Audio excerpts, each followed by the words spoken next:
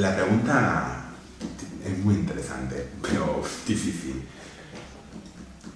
Se me ocurre que la principal cosa es que hay un mundo más allá de Europa, que es mucho más grande. El eurocentrismo conlleva un cierto elitismo en el europeo civilizatorio que, tiene muchos problemas.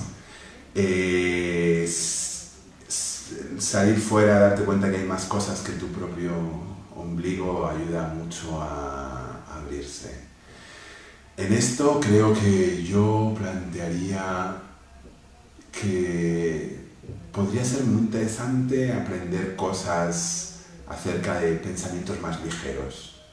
Mm, la cuna de la filosofía occidental europea está impregnada de pensamientos muy sofisticados que están muy bien realmente, pero el trasladados al día a día pesan y dificultan las relaciones humanas, políticas.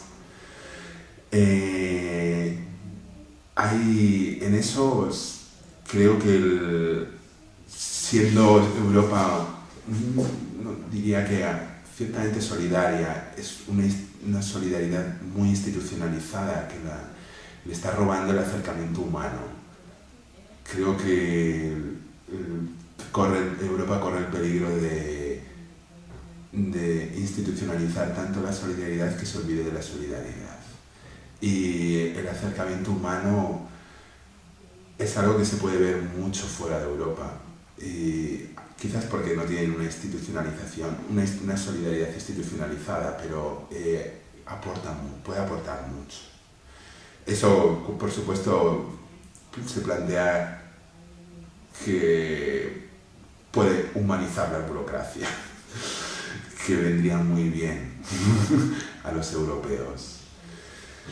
Y por último, pues claro, prestar más atención a iniciativas de base, iniciativas de abajo.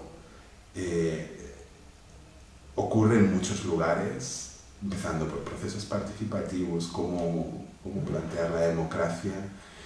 En Europa tiene una verticalidad eh, asfixiante eh, que puede realmente vaciar la democracia de contenido.